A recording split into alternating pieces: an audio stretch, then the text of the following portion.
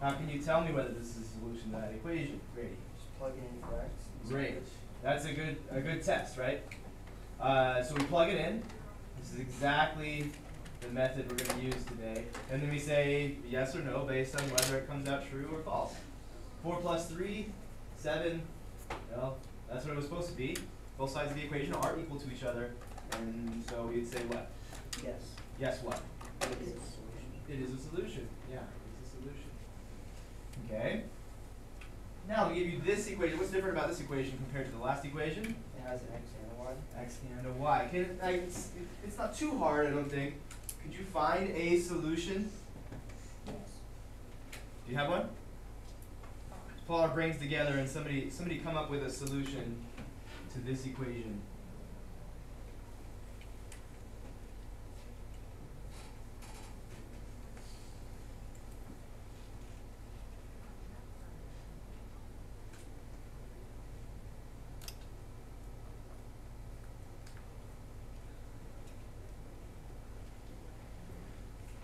There's uh, infinitely many solutions. It's not like there's only one. Just literally trillions of them to, for you to find. Just find one of them. Plug in a number and y. Right? What would those numbers be? You have a zero, And one. zero and one. Let's test it. Zero, this is x, right? And this is y. Let's try it out. Two times zero plus three times one. It needs to come out to be like both sides have to be equal. Uh, but we get three equals twenty-one, so not a solution, Second. right? Second. But that's, that's a useful thing that's gonna happen to us, okay? So, uh, can't really read it, I'm just gonna pick it out. here. Um, zero and seven. Zero and seven. So try zero again for x, plus three times, but let's make that a seven. And both sides do come out to be equal, so, yeah, that is a solution. Good, so you found a solution, how many more could we find? Tons of them. Tons of them. Sean, do you have one that's Uh, different? Six and three. Six and three? Three, I'm pretty sure, yeah. Six and three, so you get uh, twelve plus nine. Yeah. Twelve plus nine, okay. Got one more? Yeah, just right there, sitting on your tongue. Cadence? No? No. That's, okay. those, those two are good. Okay, I think I got my point across. Let's try another one. You get the idea, so if you can find a solution to this equation.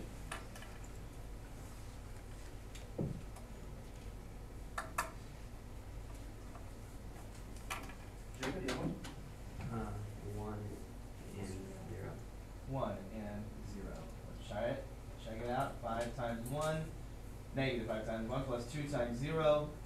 Will both sides be equal? Negative five plus zero is negative five, and yes, indeed, they are both equal. Did anybody have another one just off the top of their head? That was a, that one was pretty right there. In our faces. Sometimes a little trickier. Oh. Yeah. Got one, Sean? Okay, so, uh, five, one, or two, Two. two, and, uh, three point five, two point five. Two point five, okay, two point five. Uh, so we've got negative five times two plus two times two point five. That's negative ten plus five, that's negative five, and that's the same as the other side, so yes, it's a solution. So we're getting the idea of what a solution to an equation with two variables is, right? So if we started off with one variable, moved to two variables, we're getting the idea what the solution to an equation with two variables uh, looks like.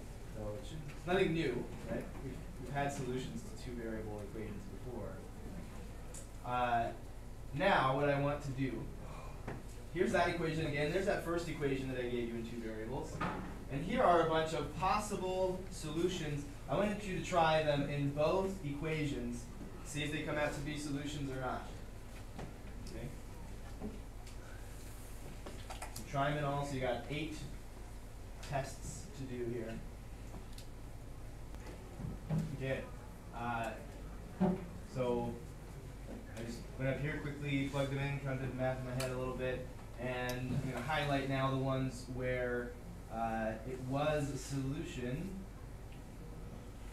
Okay. So this uh, ordered pair was a solution to this equation, but not this one. This ordered pair was a solution to this equation, but not this one. This was a solution to this equation and this equation. This was a solution to this equation, but not this equation. Right? That's what I was looking for. Does it make sense? Yep. Now, you see like a, a special ordered pair there? Something unique about it? What's that? No. What's that?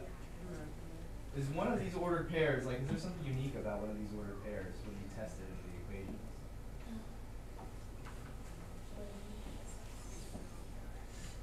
One of them is equations work for. Yeah, one of them, it works for both equations. Let me highlight that. It's kind of a big deal. And you, you might not think it's a big deal, and that's all right. And that's actually going to be part of our discussion later.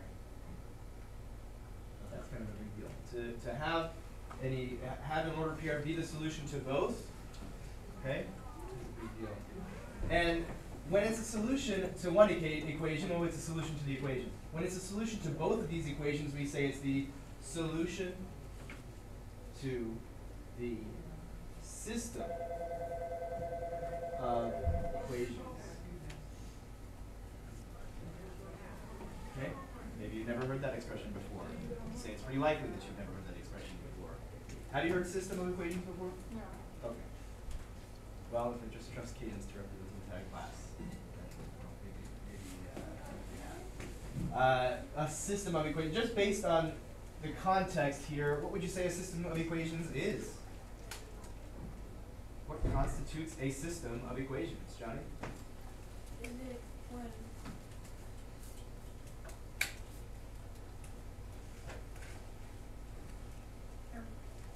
Right, we're just kind of guessing because we don't know what it is. We're just using the context to, to make a definition out of our heads, Josie. Multiple equations. That's it. Multiple equations. Okay? Multiple equations. There's two of them. Okay? When they work together somehow, and we're gonna like solve word problems later where they would work together in some way. But when they work together, we call them a system. Okay? This is all our homework is gonna be about. I'm gonna pass out these uh, very brief three question worksheets. And this, that's all we're doing. Okay? Doesn't look exactly like that because it's not like set up in an array like that. It's just giving you a system of equations and a single ordered pair and asking you, is this a solution to this system? Is this a solution to this system? Right? Completely separate from each other. Yes or no, they are or they aren't. Okay? That's all I'm looking for. So here we go. Any questions?